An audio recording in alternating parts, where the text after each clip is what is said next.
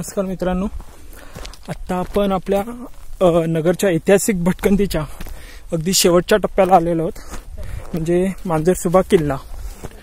जे कोणी पहिल्यांदाच हा व्हिडिओ बघत असेल डायरेक्टली तर आपण सुरुवातीला सकाळी भातवडी युद्ध त्याच्यानंतर भातवडी रणभूमी त्याच्यानंतर चांदबिबी महाल मग अहमदनगरचा भुईकोट किल्ला आणि आता हा शेवटचा मांजरसुभा किल्ला.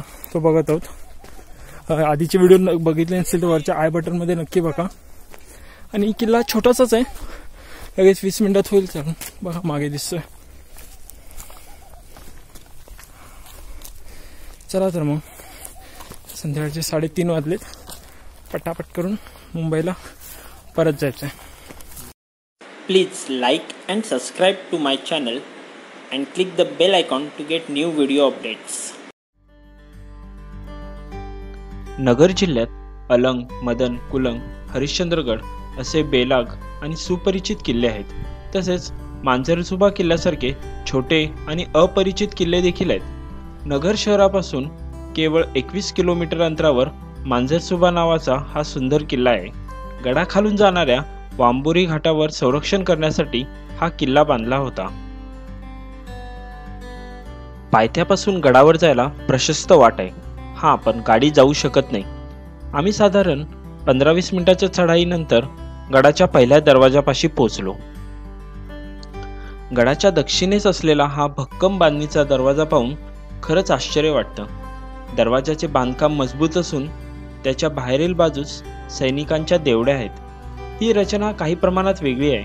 प्रवेशद्वारांचं बांधकाम चौरसाकृती असून आत सैनिकांना राहण्यासाठी दालने आहेत. आणि या दालनांना झरोके सुद्धा आहेत. आतील कमानी आणि छताचे बांधकाम खरंच पाहण्यासारखे आहे.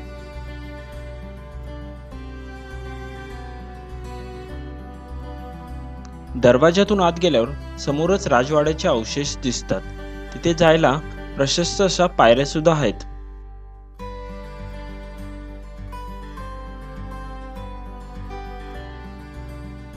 वाडा जीर्ण आणि मोडकळीस आला असून अजूनही निजामशाहीच्या ऐश्वर्यसंपन्न साम्राज्याची साक्ष देत आहे.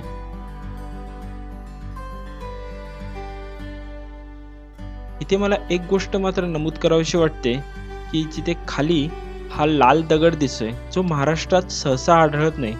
इतिहासकार म्हणतात की हा दगड खास राजस्थानवरून बांधणीसाठी आणला असावा. वाड्याच्या समोरच भला मोठा हौद आहे त्याची खोली जवळपास सहा फूट असावी. बहुधा हा जलतरण तलाव असावा.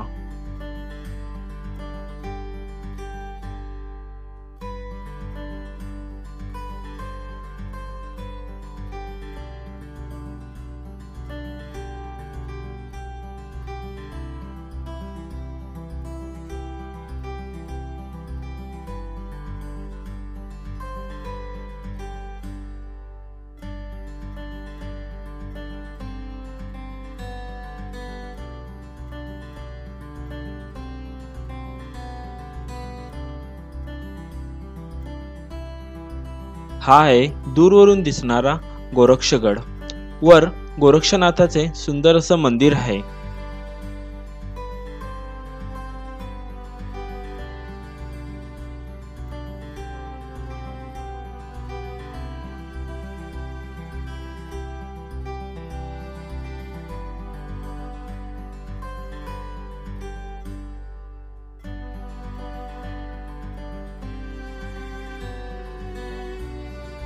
राजवाड्याच्या थोडं खाली गेल्यावर हा भक्कम बांधणीचा दुमजली बुरुज दिसतो.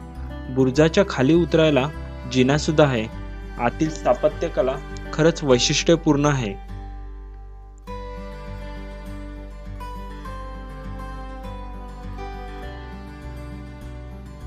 आतमध्ये एक प्रशस्त खोली असून एक शौचकूप सुद्धा दिसते.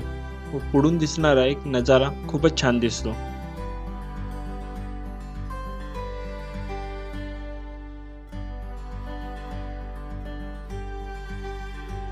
बुरजाच्या थोडं पुढे गेल्यावर एक कमानीचा दरवाजा दिसतो. दरवाजाच्या इथून खाली जायला पायऱ्यांची वाट आहे. पायऱ्यांची बऱ्याच ठिकाणी पडझड झालेली आहे. पावसाळ्यात इथून जाताना थोडं सावधान. आम्ही गेलो तेव्हा फार गवत वाढलेलं होतं.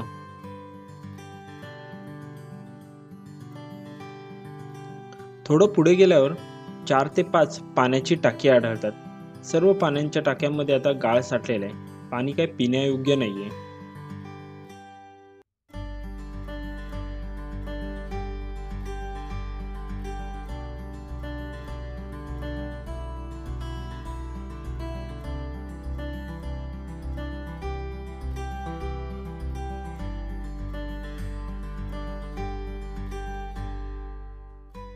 अशा प्रकारे आपला मांजरसुबा ट्रेक पूर्ण झालेला आहे. चढायला जवळपास वीस मिनटं लागतात आणि पूर्ण किल्ला फिरायला एक तास पुरेसा आहे उतरायला परत पंधरा मिनटं. निजामशाहीकालीन खूप काही अवशेष आहेत वास्तूंचे वर. चला तर मग आता आपण परतीच्या प्रवासाला लागलेलो आहोत. तरी पण बघू जाताना अहमदनगरमधीलच काय अजून एखादी ऐतिहासिक वास्तू भेटली. जाता जाता ऑन द वे असेल तर तिचं आपण दर्शन घेऊ. तोपर्यंत चला बाय संध्याकाळचे जवळपास साडेपाच वाजलेले आहेत आता. चलो बाय भेटू पुढच्या भटकंतीला.